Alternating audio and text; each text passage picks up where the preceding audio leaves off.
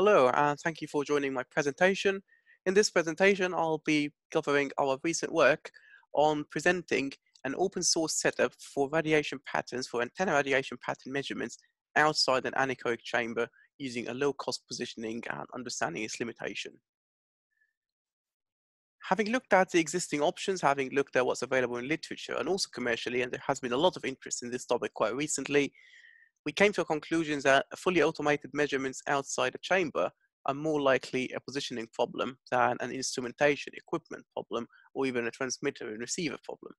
In fact, just to give a bit of background on our work, this work is not just to propose a setup that enables others to do measurements, but it's also to enable our work to do measurements in such an interesting time where we got to a point where we lost access to our conventional test facility and we had to characterize antennas at hand in a rapid way in a setup that could be deployed anywhere and didn't need the full-size anechoic chamber or the huge expensive positioner.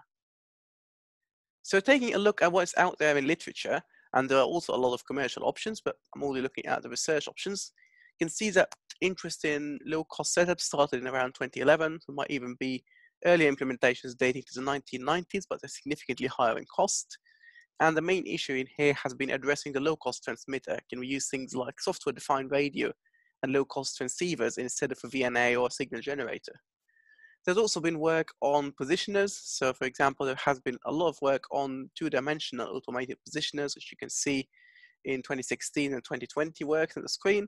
And there has also been attempts towards hemispherical measurements where a very creative approach presented in the Antennas and Propagation Symposium uh, last year was using a dome made out of RFID tags. However, clearly these systems have their limitations. And for example, the hemispherical system can only operate at a single frequency, which is out of RFID tags. So it's really of limited use outside a single frequency band. There have been different options, including even Wi-Fi hardware, RFID readers, and custom detectors, which I think were used in the setup proposed in 2020. Again, part of the same composition, uh, part of the same competition. But to date, we haven't really found a setup which uses a 3D positioner. So we need to solve that problem. We need broadband operation. We need it to integrate with any transmitter. It's not limited to a specific band like RFID. And it also needs to be able to do hemispherical or at least hemispherical measurements. So the system blocks in our case, we've got a PC, at the center of that PC we're running MATLAB, and MATLAB controls the VNA via a LAN connection, and that VNA connects to the transmitting antenna, which we're calling it transmitting just for the sake of discussion, although in a traditional VNA setup, it does act as both transmitter and receiver. And on the other end, we've got the antenna under test, which is being controlled by an open source robotic arm available from Arduino, which we'll talk about a bit later in more detail. And that is being communicated by serial both of them which are synchronized and automated using the same MATLAB script. And using the off-the-shelf commercial uh, robotic arm, we are able to move the antenna hemispherically up to from 0 to 180 degrees on both the azimuth and the elevation scale. In this setup, we have used a COTS VNA, and I will talk about that more in a minute. Obviously, both antennas have to be in the far field distance, and that is something we have respected in our measurements later in my presentation we're looking at an open source system and it's always a cost and convenience trade-off. It's more of a minefield when it comes to lab automation. And you can see that one of the choices we have went for is MATLAB. And MATLAB is a commercial software and it does cost money. So in that sense, it's not open source. It does cost a few hundred of pounds, even for an academic license, and around twice the amount for a commercial license. Python, on the other hand, is a free alternative, but working with realistic VNAs and lab equipment, manufacturers tend to provide more information and more support for MATLAB and even more support for LabVIEW, which locks you even further in a more expensive license and a more sophisticated software. So MATLAB was the decision of choice in our design library. Also, the communication between lab instruments and a PC is never straightforward. Modern day PCs do not really have a GPIB or uh, similar serial interfaces. So a crossover LAN cable costs orders of magnitude less than a GPIB adapter or GPIB interface to be installed in a PC. So we went for that as opposed to GPIB, which again gets better support from VNA vendors, but adds the cost and complexity of a system and limits the fact that we can label it open source. I'm sure people in the software community will have a lot more stricter definitions for open source than what we did. So the elephant in the room, you might think, is a VNA. Why are we using a VNA when we know that network analyzers are bulky and quite expensive when we could use a low cost transmitter and receiver. So our implementations in research which have shown single chip VNAs with comparable performance to their commercial counterparts. Excuse me. And we believe that positioning and getting the measurements is not really a TX or RX problem. It's more a problem of positioning and the environment as opposed to the noise in the receiver. So any device with a dynamic range more than 40 or 50 dB will most more than likely work in at least getting the main lobe of an omnidirectional antenna or of a directional antenna. So what position are we working with? We looked at commercial options and we found that one of the simplest and easiest to communicate with and work with is an Arduino-based robotic arm. The robotic arm, as the name implies, it can move in all directions, but we're only using two of the rotating servos, one to achieve the azimuth rotation and one to achieve the elevation rotation in green and blue respectively. And this way we can position the antenna in a hemisphere with a precision of up to one degree in order to be able to get our hemispherical patterns. That doesn't solve the 3D pattern issue. However, in our current software, in our current implementation, we simply stop the measurements and ask the user to manually rotate the positioner to cover the second hemisphere. And as a result, in the end, we just add both matrices together and end up with the 3D radiation pattern measurements.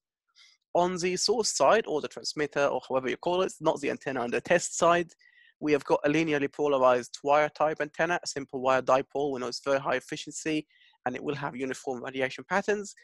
And in order to change the polarization, we simply rotated the source by 90 degrees. So this will probably explain why we have got quite a high cross polarization levels measured later in my slides.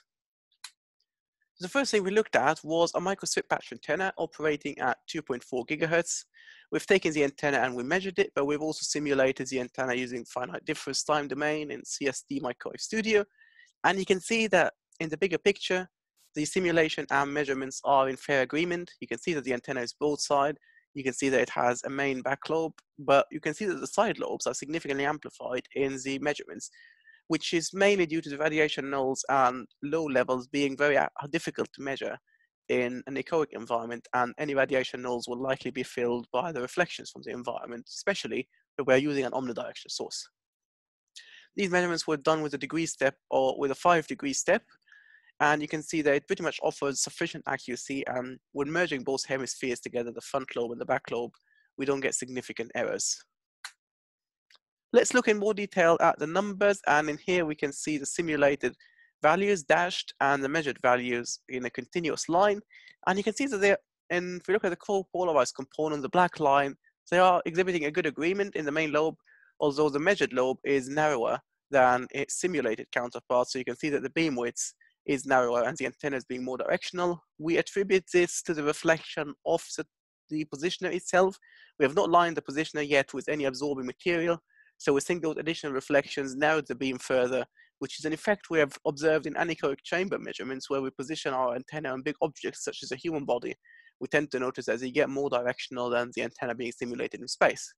One thing to validate this will be simulating the antenna along with a structure similar to the positioner, and that is part of the work we will be doing in the future to further verify the performance. The second thing we're looking at is the cross-polarization levels in red. So you can see the dashed lines, versus, which is simulation, versus the discrete points, which are the measurements. You can clearly see that the measured cross-polarization level is significantly higher by more than 15 dB in the main lobe direction. Recalling back, we mentioned that we have used a linear dipole antenna and we have rotated it manually to realize the cross-polarization measurements in both vertical and horizontal components. And this explains why we are unable to get an accurate, good cross-polarization isolation between the vertical and horizontal component. It can also be attributed generally to the reflections in the echoic environment. It's worth noting that from the different studies which have cited at the start of this presentation and which are also discussed in more detail in our paper, we are the first to present cross-polarization measurements in an echoic environment. So even though we can see that it's not great, we can see that it does not match with the simulation to a good extent, but it represents an interesting case study and something to look into in more detail. For instance, you can see that the pattern and the trend follows quite closely, however, off by more than 15 dB in magnitude, which again is room for improvement. Looking at a different example, which is a patch antenna operating at a higher frequency, we can see that in our dashed line, the simulations, and also in our measured lines for the co-polarized component, they are in very good agreement. So the dashed part of my curve represents the angles at which the disagreement between both simulation and measurement is less than 1.5 dB, which is usually the accuracy level promised by a commercially available positioner. However, as with the previous design, once you get back to the back lobe of the antenna, you can see that the measured component is significantly higher than the simulated components by more than a 7 dB difference. And that difference you can see increases to more than 10 dB at a, at a different angle, right in the very back of the cross polarization setup. And if we were to look at our measurement room and we will report this to reflection of the environment we're in. So in fact, at the angles between 300 and 360 degree, that is where the VNA itself and the controlling PC were positioned.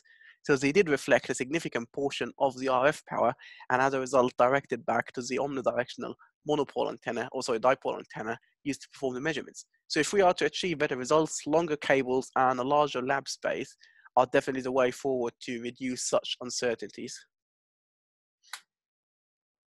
The final thing we did in evaluating our system was comparing our measurements using the low-cost setup, using the plotted as, blue, as the black squares, against anechoic chamber measurements of the same antenna, which we have used in our previous work. So the purple line is measured in an anechoic chamber over a similar structure to the positioner, which was used to characterize the wearable antenna. And we can see that in the main lobe, minus 30 to 30 degrees, they are both in almost identical agreement, and they both exhibit a similar trend around the back lobe of the antenna. If you look at the radiation nulls, for example, we can see that in the experimental low-cost setup, there's a small drift between the two nulls observed in the anechoic chamber measurements. We're more likely to attribute this to an error in the positioning of the robot, which resulted in perhaps a 10 degree shift, resulting in the nulls being in a different location to where we'd expect them to be. However, we can also see that in other parts of the angular scanning beam width of the antenna, we can see that the anechoic chamber measurements in fact show a higher side lobe, which does not exist in both simulations and in our echoic low cost measurements.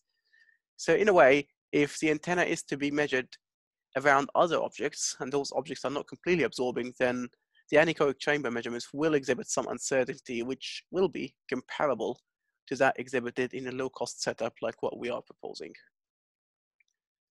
So to summarize my talk, we are proposing a low-cost Arduino-based hemispherical antenna positioner, which relies mostly on open source components and has got the potential to be changed to utilize completely open source components.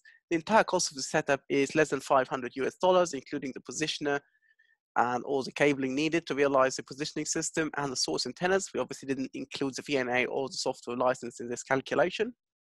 We've evaluated an indoor echoic environment for broadside antennas, microstrip patch antennas. We've compared it to both time domain simulations and also to anechoic chamber measurements.